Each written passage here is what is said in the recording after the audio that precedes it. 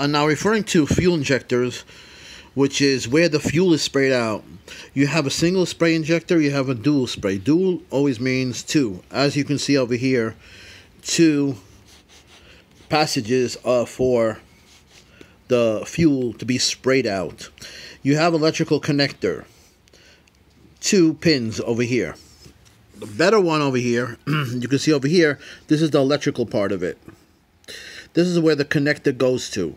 A B plus and also the other one goes to the computer which controls it. What do we mean by controlling it? Now, let's see a diagram. What we mean about controlling the fuel injector, a pictorial view of it, this is where the fuel obviously is sprayed in. You can see it has a filter. Now, the best way to understand to learn these things is from the textbook when like I started. on a cold start, there is much fuel being sprayed out.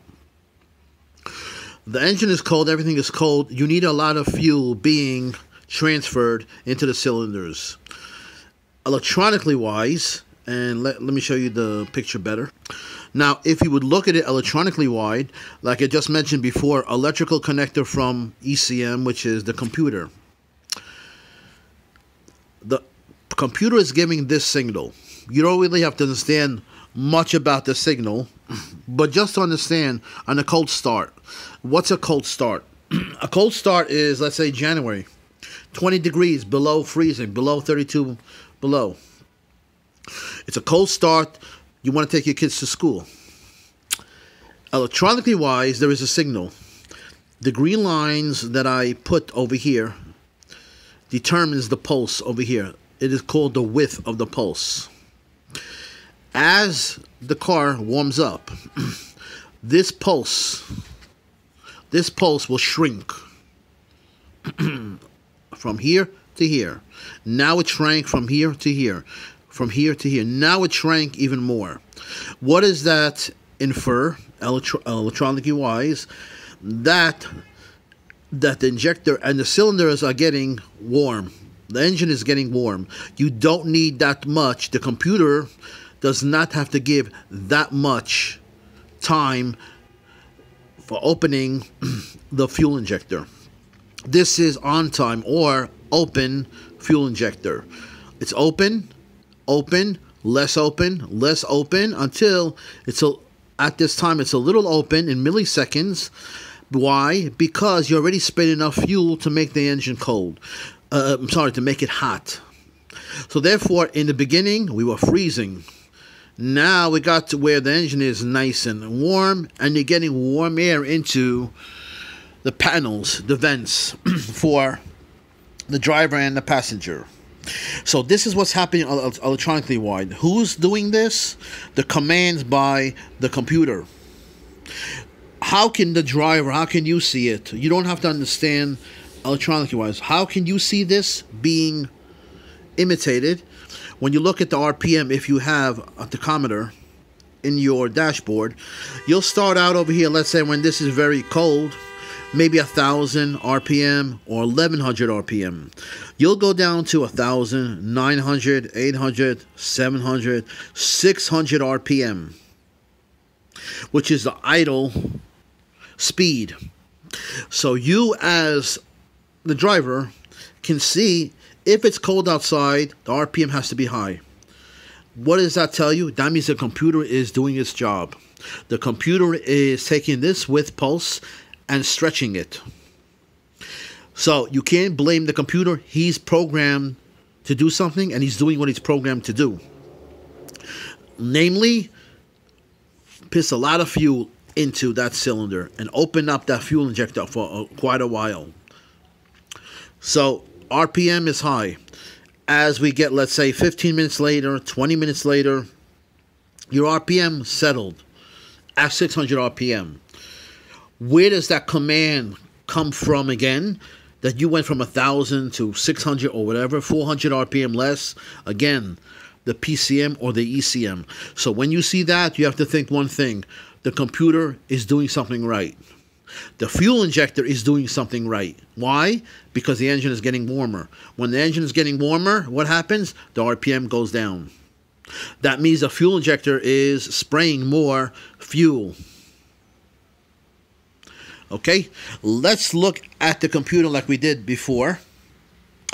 Remember, I was saying in the previous videos inputs and outputs. This can be any any computer module for Toyotas, for Hondas, for Highlanders, for uh, uh, Sonata, whatever. It doesn't make a difference. The concept is always the same. I was asked a question about what does it control the output. What are the inputs first? We said inputs. Remember, inputs to modules, to computer modules, are sensors. But not only sensors, look what's involved. And this is how I learned automotive in the beginning over 20 years ago. From this textbook and another textbook.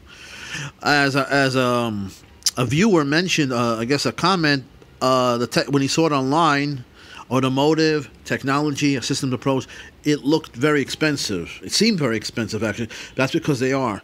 You're talking about seven, eight hundred pages of a textbook. so, uh, do some research, see if there is PDF and things like that. You know, um, it is quite expensive. Like I said, that's why I'm here to teach you what the textbook teaches you, and hopefully, you'll see it hands on. you'll see the electronics of it. You'll understand it much more clearer. Practical is practical, but hands on, you cannot beat hands on. So you will see, I guarantee. Coolant temperature, what is that? That's a sensor. Engine de- detonation. That means it, sometimes you get like these flames or these little like after a, a fire. Let's say you get all these little little fires that uh, uh, come up. Well, after the the the compression and all that, you get like these little warm spots, so to say. There is a, a, a sensor for that. Exhaust uh, oxygen sensor, we know, obviously for oxygen. Camshaft, crankshaft sensor, we're supposed to throttle position, air temperature, EGR vacuum, fourth gear. Now, not a sensor, that's why I brought this whole issue up. It has to know which gear you're in first, second, third gear, overdrive. What is that to the computer? What does it mean to him? That's an input.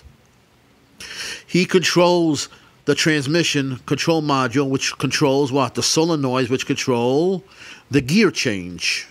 In first gear, you have, right?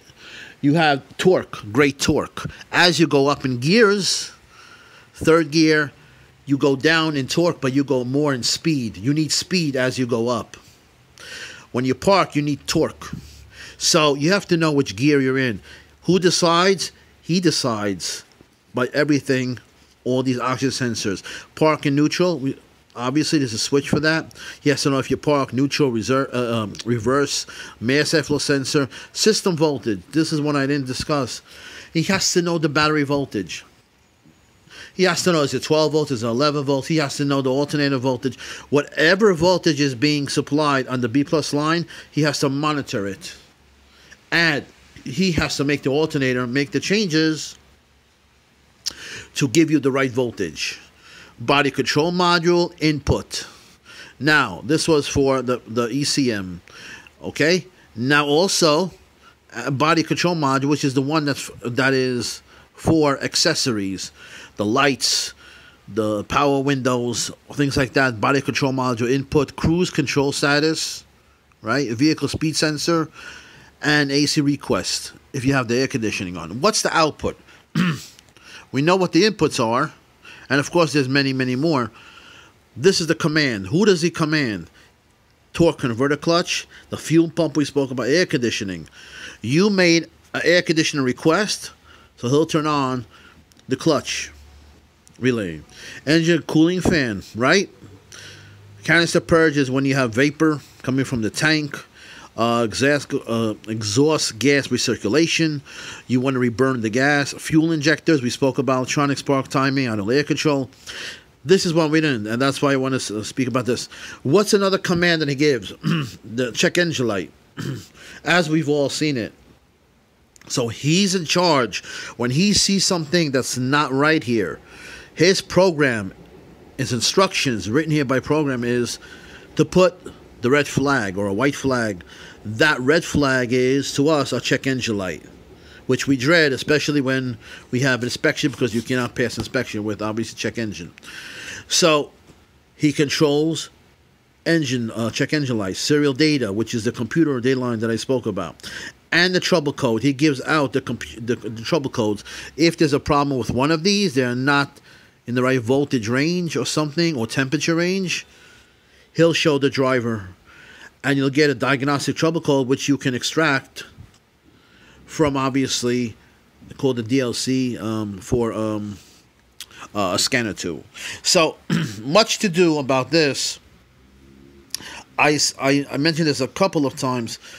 Very important has to, the gear. Very important control status, vehicle speed set. These are all inputs, and you have to remember, uh, starter motor, the relay. The relays are also outputs. So when you think about computer, I hope you have a better understanding now of computers, how they work, inputs and outputs. So please go to my channel, Joe Electronic Schematics for Auto, and the other one, Automotive Electronic Schematics by Joseph. Uh, if you don't see anything, just browse through it. You'll see something that I go over uh, relays in circuits. I measure them. Thanks for watching.